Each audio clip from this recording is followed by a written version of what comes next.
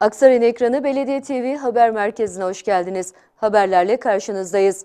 Belediye Başkanı Haluk Şahin Yazgı her hafta salı günü gerçekleştirilen Halk Günü buluşmaları kapsamında vatandaşlarla bir araya gelerek vatandaşların sorun ve taleplerini dinledi. Vatandaşların talep istekleri doğrultusunda Aksaray Belediyesi'nin hizmet sahasına giren taleplerin çözümü için gerekli çalışmalar yapılırken vatandaşlar tarafından dile getirilen ve belediyenin hizmet alanına girmeyen talepler ise ilgili kurumlara iletilmek üzere not alınıyor.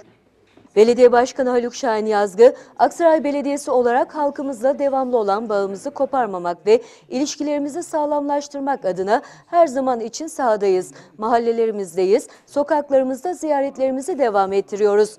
Çalışmalarımızı yerinde denetliyoruz. Bu çalışma tempomuzda bazı vatandaşlarımızla bir araya gelemiyoruz. Bu bağlantıyı sağlamak için de halk günü buluşmalarımızda vatandaşlarımızı makamımızda ağırlayarak istek ve taleplerini dinliyor, hasbihal ediyoruz. Bu buluşmalar bizim için çok önemli diyerek halk günü buluşmalarının görevde oldukları sürece devam edeceğini söyledi. Sabah gazetesi yazarı duayen gazeteci Yavuz Donat'ı tanımayan yoktur sanırım. Yavuz Donat bugün Aksaray'ı ziyaret etti. Belediye Başkanı Haluk Şahin Yazgı ile bir araya geldi. Belediye Başkanı Haluk Şahin Yazgı, Aksaray'a gelen Sabah gazetesi yazarı, duayen gazeteci Yavuz Donat ve beraberindeki heyeti ağırladı. Özel bir restoranda öğle yemeğinde bir araya gelen Belediye Başkanı Haluk Şahin Yazgı ve yazar Yavuz Donat, Aksaray ve gündeme ilişkin uzun uzun sohbet etti, bilgi alışverişinde bulundu. Başkan Yazgı'nın Yavuz Donat onuruna düzenlediği yemeğe Vali Aykut Pekmez, Cumhuriyet Başsavcısı Ramazan Akın, Aksaray'ın önde gelen ve sevilen iş adamı Orhan Ağaçlı, Türkiye Gazeteciler Federasyonu Genel Başkanı Yılmaz Karaca, Sabah Gazetesi Ankara Bölgesi Genel Yayın Yönetmeni Osman Altınışık, Alanya Gazeteciler Cemiyeti Başkanı Mehmet Ali Dim, Aksaray Gazeteciler ve Yazarlar Cemiyeti Başkanı Celil Acar, Anadolu Ekspres Gazetesi imtiyaz sahibi ve gazeteci Harun Atalay, Şehit Ömer Halis Demir'in kardeşi Doğan Halis Demir ve Nide Çukurkuyu Belde Belediye Başkanı İleri Koçak katıldı. Belediye Başkanı Haluk Şahin Yazgı ev sahipliğinde bir araya gelen yazar Yavuz Donat, Vali Aykut Pekmez ve diğer konuklar Aksaray'daki büyüme, gelişim ve yapılan hizmetler üzerinde bilgi alışverişinde bulundu, gündemdeki konuları değerlendirdi. Aksaray'ı bulduğu her fırsatta ziyaret eden gazeteci yazar Yavuz Donat, her gelişimde bölgeyi daha gelişmiş, daha kalkınmış, daha da büyümüş görüyorum. Sağ olsun belediye başkanımız Haluk Şahin Yazgı bizleri misafir etti, biraz sohbet ettik. Kendilerine teşekkür ediyorum. En kısa zamanda tekrar geleceğim dedi. Aksaray Belediyesi Tacın Mahallesi'nde Uluırmak ve çevresini kapsayan Uluırmak Rekreasyon Alanı ve Kent Parkı çalışmalarında birinci etabı tamamladı. Tamamlanan birinci etap çocuk oyun parklarıyla, spor etkinlik ve yeşil alanlarıyla şehrin yeni yaşam merkezi olacak. Kent Parkı'nın birinci etabı projenin en geniş alanı olarak tasarlandı. Alanda tören, toplanma, kutlama, festival gibi çeşitli etkinliklerin yapılabileceği Selçuklu Meydanı'nda satış birimleri, 2 adet Selçuklu süs havuzu, renk ve koku bahçeleri, ağaç altı oturma bankları, anıt, heykel alanı, 4 adet kuru havuz, ağaç altı gabyon banklara yer verildi.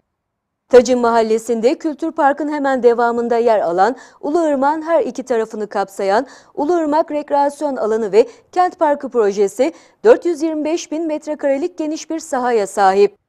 Projenin birinci etap 79 dönüm, ikinci etap 104 dönüm ve üçüncü etap 243 dönümden oluşuyor. Tamamlanan birinci etap projede birçok detaya yer verildi. Uluırmak boyunca ırmağın her iki yakasına dinlenme ve oturma alanları, piknik alanları, sosyal tesisler, yürüyüş bandı, koşu yolu, bisiklet yoluyla kesintisiz yaya erişimi sağlandığı projede belirli aralıklarla köprü bağlantıları yapılarak ırmağın her iki yakası birleştirildi. Belediye Başkanı Haluk Şahin Yazgı, belediyenin yapımı devam eden bazı projelerini yerinde inceledi. Projeleri bir bir hayata geçirdiklerini belirten Başkan Yazgı, ilimize güzel projeler kazandırmak için gece gündüz demeden çalışıyor ve projelerimizi vatandaşlarımızın ihtiyaçları doğrultusunda şekillendiriyoruz dedi. Başkan Yazgı ilk olarak sosyal sorumluluk projeleri kapsamında Aksaray Merkez Somuncu Baba Külliyesi'nde kurulan ve yakın bir tarihte hizmete açılacak olan Engelli Koordinasyon Merkezi'ni yerinde inceledi. Başkan Yazgı, engelli vatandaşların topluma kazandırılması için sosyal belediyecilik anlamında elimizden geleni yapacağız diyerek engelli vatandaşların her zaman yanında olduklarını bir kez daha dile getirdi. Belediye Başkanı Haluk Şahin Yazgı, TOKİ bölgesinde Genç Osman Parkı'nı gezdi, park içerisinde devam eden projeleri inceledi. Genç Osman Parkı'nda inşası devam eden ikinci kadın aktivite merkezi ve park alanında yapımı tamamlanan mescitleri gezen ve çalışmaların son durumu hakkında yetkililerden bilgi alan Başkan Yazgı, vatandaşların talepleri doğrultusunda çalışmalara yön verdiklerini belirterek burası vatandaşların sosyal ve kültürel faaliyetlerde kullanabilecekleri modern bir merkez olacak dedi. Programına proje incelemeleriyle devam eden Belediye Başkanı Haluk Şahin Yazgı, Hamidiye Alaca Mahallesi'nde hizmete açılacak olan Vecihe Hatun Kadın Aktivite Merkezi'nde gezdi. Fazla kilolarından kurtulmak, form tutmak ve zinde kalmak isteyen hanımefendilere sesleniyoruz efendim. Aksaray Belediyesi bünyesinde faaliyet gösteren Selime Sultan Kadın Aktivite Merkezi'nde yüzme havuzu ve spor kompleksi hizmete açıldı. Aksaray Belediyesi bünyesinde faaliyet gösteren Selime Sultan Kadın Aktivite Merkezi'ndeki kapalı yüzme havuzu hizmete açıldı. Kapalı yüzme havuzu dışında spor salonu, sauna, buhar odası, fitness salonu ve hamam tasarlanan spor kompleksinde kadınlara gerek yüksek hizmet standartları gerekse de hijyenik alanlar sunuluyor. Merkezi konumundan dolayı kolay ulaşım imkanına sahip Selime Sultan Kadın Aktivite Merkezi'nde üyelik kayıtları başladı.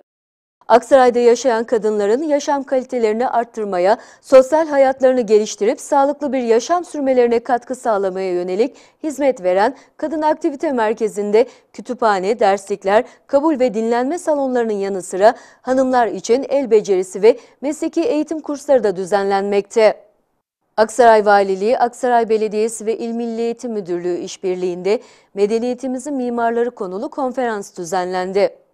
Araştırmacı yazar Sadık Yalsız Uçanlar ve Tumiçin Çevikoğlu'nun konuşmacı olarak katıldığı Merkez Kız Anadolu Lisesi İmam Hatip Lisesi, Ahmet Cevdet Paşa Sosyal Bilimler Lisesi ve Aksaray Anadolu İmam Hatip Lisesi'nde düzenlenen Medeniyetimizin Mimarları konulu konferansa öğrenciler büyük ilgi gösterdi.